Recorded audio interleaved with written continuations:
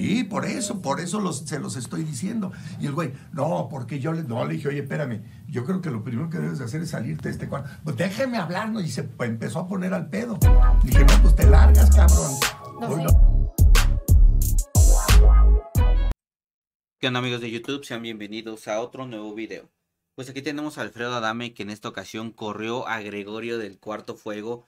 Y es que al parecer Gregorio estaba en el cuarto hablando con las chicas un poco acerca de, eh, de lo que habló con Mariana eh, justamente antes de salir. Y es cuando entró Alfredo Adame, lo vio y le dijo que lo primero que tenía que hacer era salirse del cuarto. Obviamente eh, ya lo estaba corriendo. Y Gregorio dijo que no, que lo dejaran hablar, que no pasaba nada. Y le molestó a Alfredo Adame que todas las chicas lo estuvieran escuchando y poniendo la atención cuando ya les mintió una vez diciendo que se quería ir y no se fue. Y ahora los iba, los iba a engatusar de nuevo. Entonces eh, Alfredo Adame literal lo corrió de ese cuarto. Salirte de este cuarto. Pues déjeme hablar, ¿no? Y se pues, empezó a poner al pedo. Le dije, no, pues te largas, cabrón.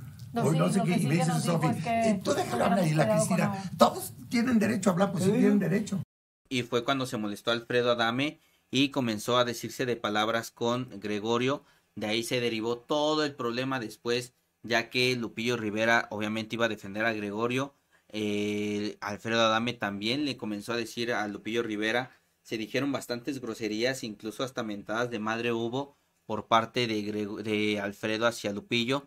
Y Lupillo le decía a Alfredo Adame que era un mal nacido, o sea, hubo ofensas muy muy fuertes y por eso es que están todos con los pelos de punta de que no saben qué está pasando. Les vio la cara de pendejo ¿Ah? y todavía va. ¿Cómo? se te hizo ahorita? Es que no, que soy actuado. Y es que por ahí dice la bronca que pues es porque Alfredo tiene más colmillo y sabe cómo, cómo tratan las demás personas. Que literal las chicas estaban ahí este, poniendo la atención que no veían ninguna maldad en él. Ya hasta que Alfredo Adame se los dice, ya comienzan a ver la realidad. Pero bueno, déjame saber en los comentarios qué opinas de esto. Sin más, no olvides suscribirte al canal, dejar tu like en este video y compartirlo con todos tus amigos.